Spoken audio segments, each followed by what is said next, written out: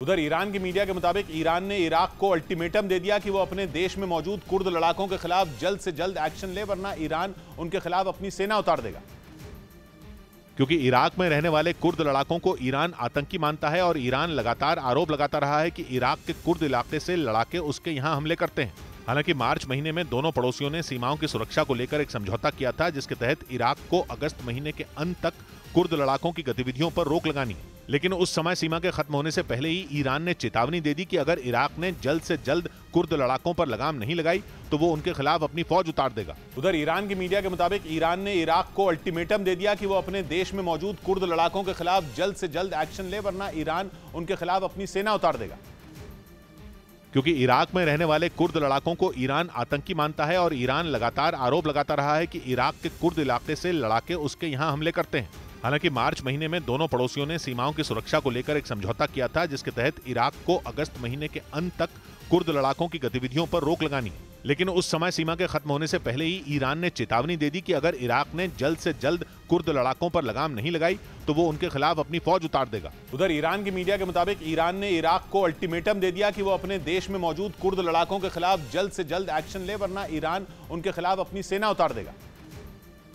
क्योंकि इराक में रहने वाले कुर्द लड़ाकों को ईरान आतंकी मानता है और ईरान लगातार आरोप लगाता रहा है कि इराक के कुर्द इलाके से लड़ाके उसके यहाँ हमले करते हैं। हालाँकि मार्च महीने में दोनों पड़ोसियों ने सीमाओं की सुरक्षा को लेकर एक समझौता किया था, जिसके तहत इराक को अगस्त महीने के अंत तक कुर्द लड़ाकों की गतिविधियों पर रोक लगानी। लेकिन उस समय सीमा के खत्म होने से पहले ही ईरान ने चेतावनी दे दी कि अगर इराक ने जल्द से जल्द कुर्द लड़ाकों पर लगाम नहीं लगाई तो वो उनके खिलाफ अपनी फौज उतार देगा। उधर ईरान की मीडिया के मुताबिक ईरान ने इराक को अल्टीमेटम दे दिया कि वो अपने देश में मौजूद कुर्द लड़ाकों के खिलाफ जल्द से जल्द एक्शन ले वरना ईरान उनके खिलाफ अपनी सेना उतार देगा।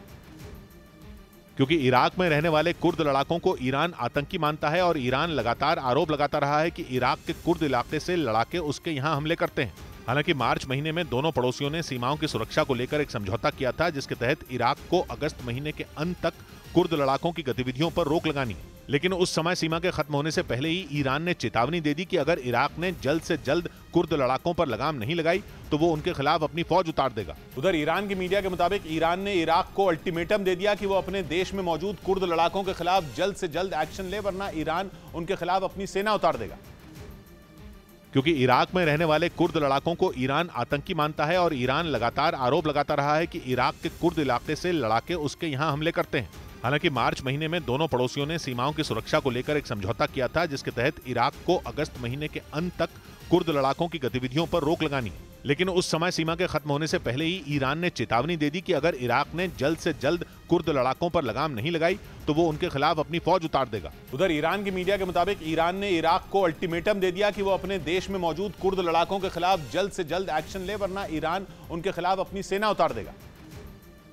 क्योंकि इराक में रहने वाले कुर्द लड़ाकों को ईरान आतंकी मानता है और ईरान लगातार आरोप लगाता रहा है कि इराक के कुर्द इलाके से लड़ाके उसके यहाँ हमले करते हैं। हालाँकि मार्च महीने में दोनों पड़ोसियों ने सीमाओं की सुरक्षा को लेकर एक समझौता किया था, जिसके तहत इराक को अगस्त महीने के अंत तक कुर्द लड़ाकों की गतिविधियों पर रोक लगानी। लेकिन उस समय सीमा के खत्म होने से पहले ही ईरान ने चेतावनी दे दी कि अगर इराक ने जल्द से जल्द कुर्द लड़ाकों पर लगाम नहीं लगाई तो वो उनके खिलाफ अपनी फौज उतार देगा।